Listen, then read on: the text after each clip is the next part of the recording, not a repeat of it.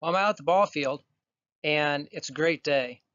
And the only thing that could ruin a great day on the diamond is elbow pain. Hi, I'm Dr. Randy Goldstein. Today, we're going to talk about Little League elbow. Little League elbow is an injury at the growth plate at the inside of the elbow. And it's common. In fact, elbow pain in baseball is super common. About 30% grade school, 45% middle school, and 50% in high school and college.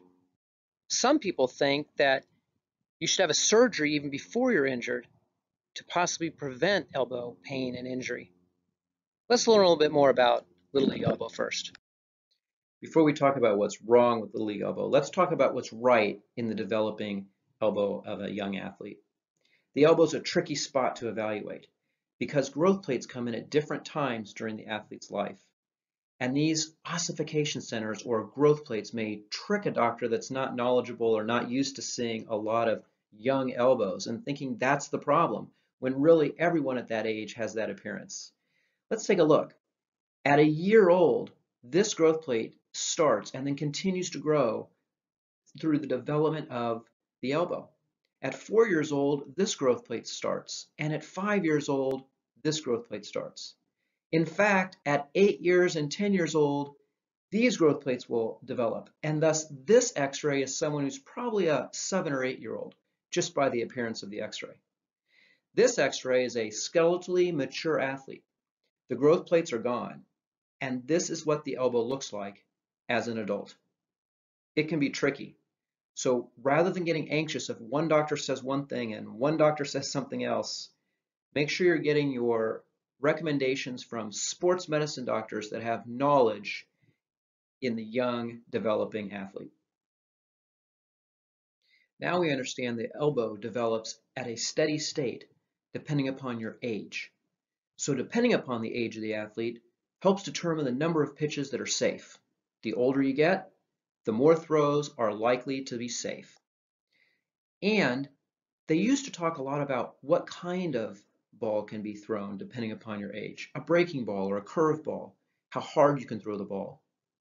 Studies have been done, and while some say curve balls are more dangerous, the truth is all of these can cause little league elbow or elbow injuries if too many throws or too hard of throws are done at too early of an age. Take their technique or the kinds of pitches they're throwing the amount of times they're throwing and the amount of days they're allowed to rest after a day of throwing, and you can get a pretty good idea of the risk for a young pitcher getting little league elbow.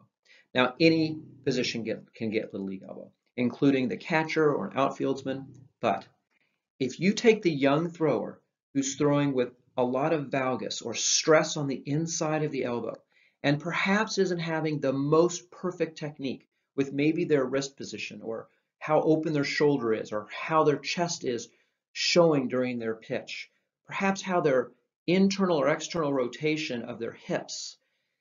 Putting all this together, along with frequent throwing and along with hard pitches, can take a promising pitcher who at eight or nine years old is excited to become that high school or college pitcher and end the season early because of an injury, or at worst, end of career. And so getting too enthusiastic about the great thrower and ruining him for the rest of his career seems unfair. Take a young thrower, let them learn the proper technique with the moderate amount of pitches and the moderate amount of velocity and keep them for a lifetime of baseball. If they do have pain, they often point to the inside of their elbow. That's where a growth plate is trying to develop. And a lot of this valgus throwing can cause inflammation, irritation, or even separation or a fracture of this relatively weak growth plate compared to the rest of the structures in the elbow. We got to protect this area. The exam includes pointing to where the area hurts and then having the healthcare provider push around that area to see if it's swollen or red or warm, tender to palpation. We measure with a tool called a goniometer on how much the athlete can straighten and bend, how much the elbow can twist, and where the arm sits in a normal position. Is it always sitting in valgus or that stressed position or only when they throw?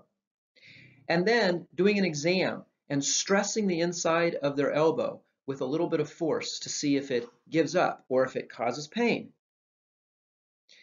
Here's where the pain would be with that growth plate injury. The red sunburst at the inside of the elbow is also where that growth plate is trying to develop.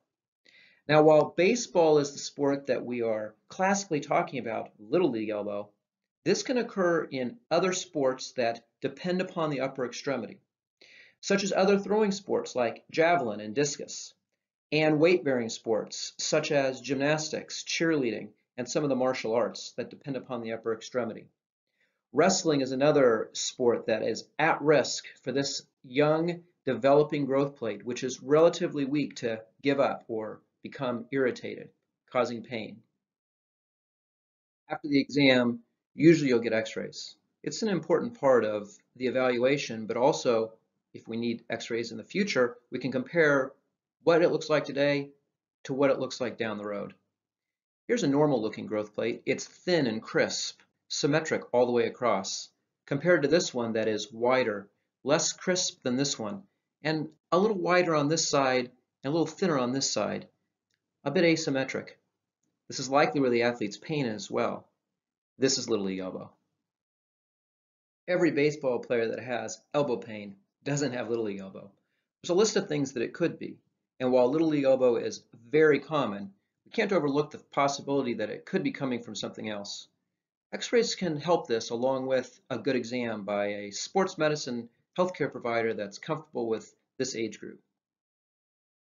I wanted to show you a couple of things that were rather subtle. Here's the normal X-ray.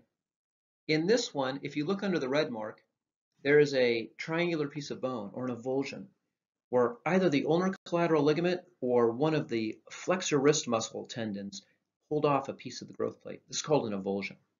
And in this x-ray, while there's nothing obvious bony, you can tell that there's a slight darkening here and a slight darkening here that suggests there's an effusion or swelling in the elbow, and something further needs to be diagnosed before the athlete can return to play. I keep talking about the growth plate as being the weakest link, or what's most likely to get injured. And while you have growth plates, that's true. It's unusual for the ulnar collateral ligament to get injured in a developing athlete. But once the growth plates are closed or you're skeletally mature, then the ulnar collateral ligament becomes the weak link or the most likely thing to get injured in an athlete with a lot of valgus technique and repetition. Here's the ulnar collateral ligament intact, the black rubber band-like structure, and here it is torn. No connection from the top to the bottom and a lot of edema or swelling or effusion. When the ulnar collateral ligament isn't attached anymore, two things can be done. In a non-throwing athlete, often rest, letting it scar down, physical therapy, and returning to a normal life is acceptable. But for the throwing athlete, or the athlete that has a lot of weight bearing on their arm, such as a gymnast, the ulnar collateral ligament needs to be reconstructed. This is what is termed the Tommy John surgery. Well, before we talk about the necessity for surgery, or reconstruction. What if we could prevent this injury?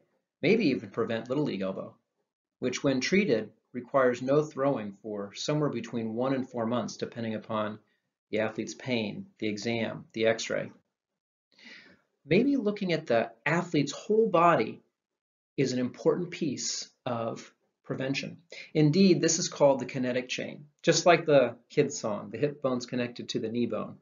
In a pitch, the force comes from the ground through your ankle, knees, hips, back, finally your shoulders, elbow, wrist. The ball is released. If one of those structures isn't doing their job correctly, another may get more stress, resulting in an injury. And that is the importance of looking at the kinetic chain. Here's an athlete who pitches. Look at the shoulder heights, the right being lower than the left. Look at the musculature, the right seemingly more developed than the left. Look at the position of the scapulus, also different. And finally, the elbows. We can't see the hips in this picture, but the importance of every structure being symmetric and working correctly is a piece of prevention, and that's called the kinetic chain. Once the kinetic chain has been evaluated, the next step is to look at the phases of throwing. Whether in a prevention program or a rehab program after an injury, a knowledgeable pitching coach, occupational or physical therapist, athletic trainer, or sports doctor can help the athlete get back to pitching.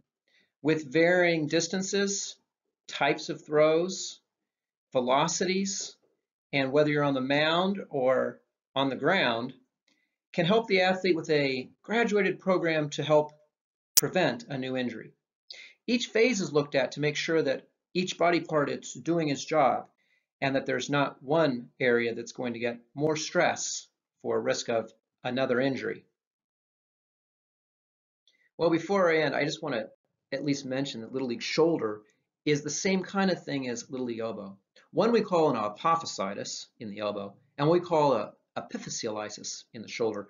But essentially, they're the same. This is the growth plate that looks normal in the developing shoulder. And someone who throws a lot can get little league shoulder, which is a widening or an asymmetry of that growth plate. Notice it's wider here and less symmetric than this one, which is more similar all the way across. They'll point to the deltoid muscle area. And in fact, often coaches or parents will think it's a deltoid muscle strain, but it's not.